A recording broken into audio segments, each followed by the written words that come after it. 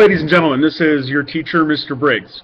Uh, I'm sorry you have to actually see me, okay? Uh, I know that puts you through a lot of distress having to see this, um, especially early in the morning. Trust me, I've, I've broken every mirror in my house. Um, what we're going to do today is a really quick lesson on finding the best possible volume for our surface area. In fact, that's our learning target for today, is that I can find the best volume for the surface area. Okay, it's kind of hard to read because of the video quality and where I'm pointed. But what we're trying to see is, is there some magic shape that will hold a whole lot of stuff without being very big? Have you ever gotten inside a really tiny car? Okay, I do that every day because I drive a really tiny car. You get inside this really tiny car, but it seems huge. You're like, wow, how did this car fit so much stuff in it? Okay?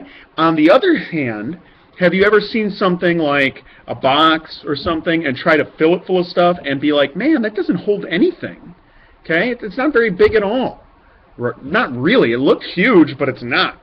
Um, well, that's because there's this weird relationship between the size of something and its surface area. We learned that. We learned that something can hold the same amount of stuff, but be different sizes. Um, it can use more paper or less paper, uh, depending on how you arrange it. And we're going to kind of look at that connection today. And we're going to learn that connection today using a really great tool, uh, but one that gets misused a lot. And that are that is uh, these things right here. These are our unit cubes, right? We got all these wonderful little unit cubes. Uh, each table should have 24 of them. And the point of this lesson is that the ABC Toy Company, uh, this one company, is producing a series of children's blocks. You know, like the blocks that have A, B, C, D written on them, right? And they are one inch tall, one inch long, and one inch wide. Okay, there are 24 of them in a box. Now, there's different ways we can make those boxes. Um, some of the boxes are going to be bigger than others. Some are going to use more paper than others. And we want to save some trees, right? We want to do a really good job of making sure that we have used the least amount of paper, right, to make our boxes. But we want it to hold all our stuff, okay? And there is a magic number we're looking for. We're going to do the first two together in this video um, so I can show you how it's done, and then you'll go ahead and you'll do it on your own. Okay? Let's get started. First off, I'm going to do just, I'm going to be just a total jerk about this and be like, okay, I got 24 of these blocks. I'm going to make a box that is 24 units long. I'm going to take all these suckers, all these blocks, and I'm going to put them all in a row. Okay, I wonder if this will even fit on my screen here. Oh, just barely. It is 24 long. It is one tall. It is one long. It is one wide. Okay. So this box. Can you just imagine buying this box? This sitting on a shelf in a toy company. It's just, you know on a shelf in a toy store. This big long stick of blocks. But hey, that's my box, and it does work, right? So let's go ahead and figure out if it's a good box or not. And we're going to do that using this table. Now you have a version of this table on your worksheet. This is going to be the first two of them, okay? So follow along, we'll do the math together. Alright, for our first one, this box, the one I made, was 24 long, okay? 24 blocks long. It was one block wide, it was one block high. So 24 long, one wide, one high. Make sure you copy that down. Then, the next thing I do is I figure out the volume. Because we need to figure out, okay, what does that actually hold? So, I do 24 for my length. Uh, one high, one long. 1 times 24 times 1 gives me 24 inches squared or cubed. What do you think? Squared or cubed? Well, it's three-dimensional, so it's going to be cubed with a little 3 on it. Okay? So we got 24 inches cubed. Then, what I'm going to do is figure out its surface area. And remember, surface area is going to be a whole lot trickier. And to do surface area, we use our surface area formula, which I have right here. And we have to make sure that we are putting the proper things in our surface area formula. Uh, we got width times height. Well, it is 1 wide, it is 1 tall. We have width times length. Well, it is 1 wide, it is 24 long. And then we have to do length times height. It is 24 long, it is 1 high. Now let's multiply. 1 times 1 is 1, plus 1 times 24 is 24, plus 24 times 1 is uh, 24. And 1 plus 24 plus 24 gives me what? Use a calculator if you need it. Uh, but I know that 24 and 24 is 48. Plus 1 gives me 49. But that 49, remember, is only half of our shape. Because remember, if there's a front, there's also a back. If there's a top, there's also a bottom. If there's a right side, there's a left side. Right? Yeah, something like that.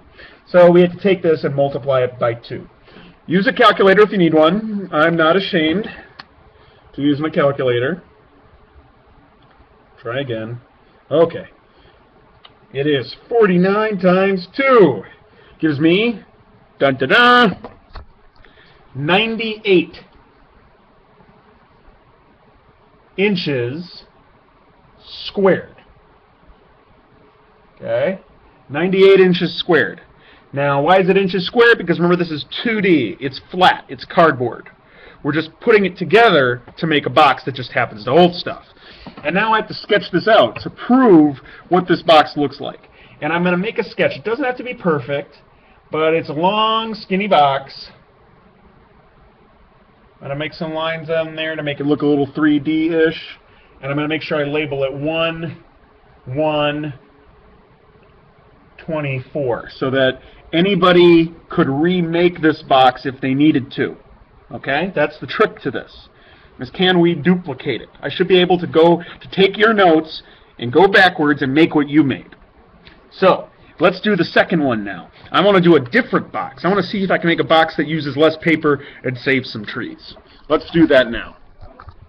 So I have my same 24 blocks here, and I'm going to rearrange them. Hmm, how can I rearrange this into something that's different? Well, I can uh, take that there and just move it around. That it's got to be a perfect box. Um, okay, that's not gonna work. Um, let's do. Hey, hey, hey, hey, I got a box. Okay, I got a box. Uh, what what are the shapes of this box? Well, this box is obviously this box is three by one by one, two, three, four, four, by 8. 3 by 1 by 8. So, I'm going to go back to my sheet up here, back to my table, and what I'm going to put in is that this is 8 long, right? It is 3 wide. It is 1 high. Okay? 8, 3, and 1. Now, we need to figure out the volume. I'm going to erase what I've got here. Okay?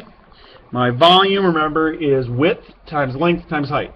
So width here is 3, uh, length is 8, and height is 1. 3 times 8 is 24.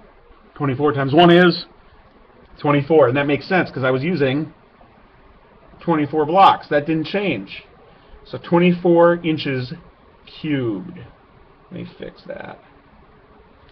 Okay, 24 inches cubed, right? Because it's a 3D shape. Now let's figure out surface area, see if that got any different. So, taking a look at our surface area formula, my width is 3, my height is 1. My width is uh, 3, my length is 8. My length is, how long is this guy? 8. Its height is 1. 3 times 1 is 3. Okay? 3 times 8 is 24. And 8 times 1 is 8. Alright. And let's go ahead now and add those together. 3 plus 24 plus 8. I, again, am not ashamed to use a calculator. Maybe a little. 3 plus 24 plus 8 gives me 35. That makes sense. Okay? 35. But remember, there's an extra step to that. There's a front, there's also a back, there's also a top, there's also a bottom. And 35 seems really small to me. So I have to multiply that by 2.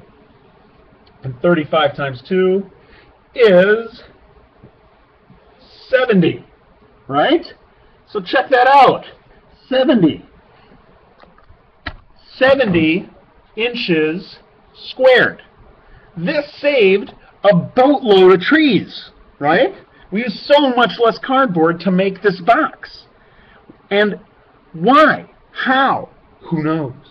Your job then, guys, well, first, your job is going to be to draw your box here, and I'm going to draw my box here.